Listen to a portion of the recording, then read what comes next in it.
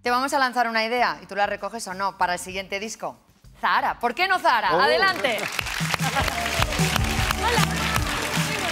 Soy. Bienvenida, preciosa. Muy bien, ¿te ves a ti? Sí.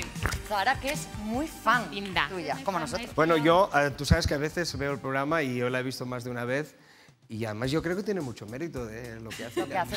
Guitarra y voz y en vivo. Arriesga mucho. Caray. Tengo mérito. Aquí no hay playback. No sé cómo llamarlo, pero sí, algo. Y además habla catalán, que yo he alucinado.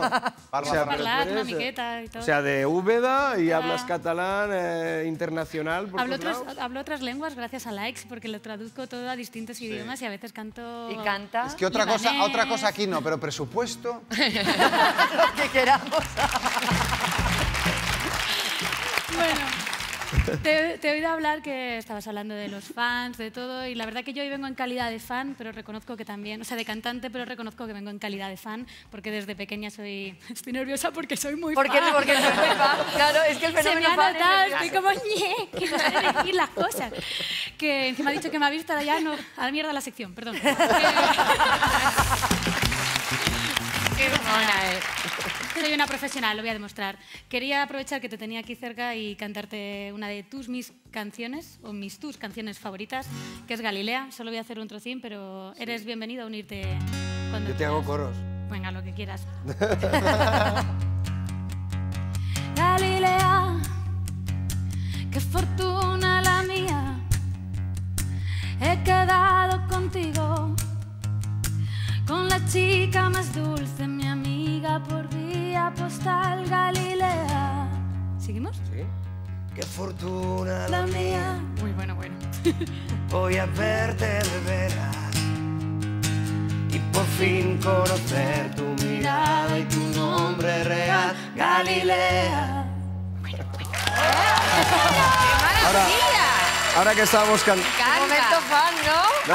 es muy bueno porque bueno, estábamos cantando lógicamente en, en su tono, que es un tono diferente al Madre. Pero mía, hacéis muy buena pareja. O ¿eh? muy grave o muy agudo. A mí me pasó esto en un karaoke. Eh, fui con un grupo de amigos, venga, vamos a un karaoke. Cerraron el karaoke en una fiesta, ¿no? Y pusieron el bailar pegados. Va, que cante, que cante. Eso que es tan odioso para los cantantes. Venga, ponte a cantar. Y estaba en tono de chica, con lo cual hice el ridículo porque no. Bailar pegado, fatal.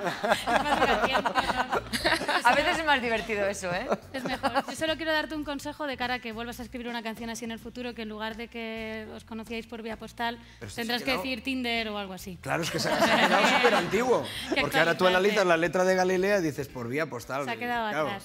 La Pero gente no joven dice nada. por vía postal y esto que... Bueno, Claro, también es historia de la música por Claro. eso, ¿no? No, pensarán que es un post en un blog o algo. Maravilloso. Hay un, tienes un pasado que yo he descubierto, bueno, que ya conocía. Ah, que vas a sacar mi pasado Voy a sacar ahora. algo de tu pasado que me encanta. Pero que es fan, tú tranquilo. pero Eso es no me habían hablado en el programa. Eres Ah, fan, es te fan, es fan, Eso Sergio. es del lado bueno. Que era cuando ponías la voz a anuncios de televisión. Hay uno concreto en el 87 que, por favor, me encantaría que viéramos. Qué maravilla. Me recuerdo. Qué maravilla. Sabes escoger tu limón Yo, yo lo recuerdo. Claro, lo recordamos perfectamente. Lo cantábamos todos. Lo cantábamos todos. Y se me ocurre una cosa, que si un fan de alguien hace una versión, si eres tan fan como yo, que, que estoy aquí, que no puedo, eh, lo que haces es la versión de la versión de la persona a la que admiras. Entonces, te voy a cantar un trozo de Tu vida cambió.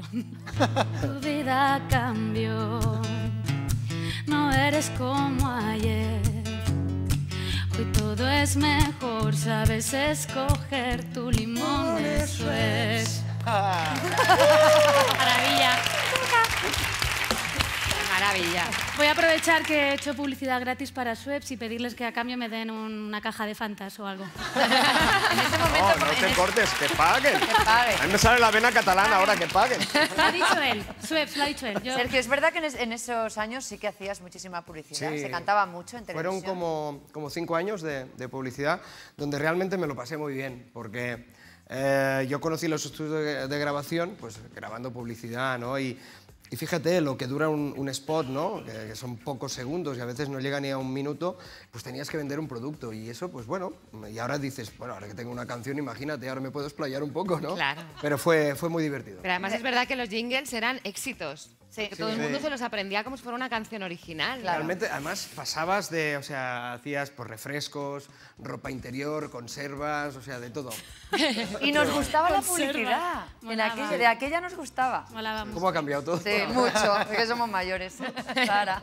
Bueno, creo que va a estar- vas a estar de acuerdo conmigo, Sergio, en que si de alguien somos fans, es de los fans. Has hablado mucho así, de exacto. ellos hoy.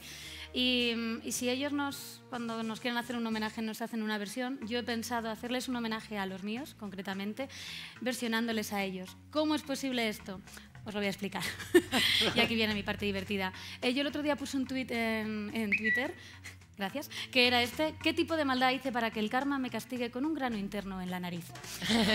Esto fue una reflexión banal como cualquier otra, pero que en realidad tenía, la tenía y tenía que compartirlo con el mundo. Y de todas las menciones y los comentarios que generó, yo los he decidido unir y hacer así un canto a lo inaprensible de la existencia, con aprovechando la misma maravillosa música. A de ver, Sara, Police. para que, para que lo Sí, entienda bien. la gente. Tú has hecho la letra de la canción con los, los tweets tweets. de tus fans hablando de tu grano. Sí. Esto es un poco el resumen. Es Pero yo que- siempre dije que había que medicar a Zahara. Pero no por el grano. No, pero no por el grano. No, ver intenta si hacer el ahora- triple salto mortal. Sí, sí, tú lo has dicho. ¿Dónde va? ¿Puede aún arruinar más su carrera? Siempre. No, puede. seguro que no. Bueno, voy a intentarlo. Bienvenido cuando quieras, si te atreves, si Sí, tú también bueno, quieres. yo te, yo te sigo, a ver. Sí.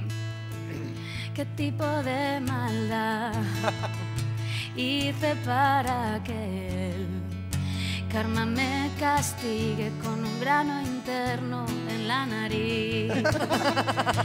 Dirás que afortunada eres de tener un grano interno que nadie puede ver, no sabemos valorar lo que tenemos. Siempre queremos lo que no tenemos.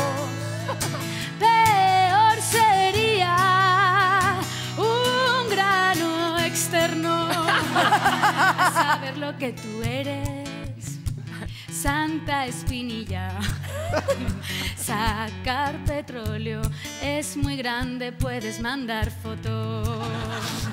Siempre queremos lo que no tenemos.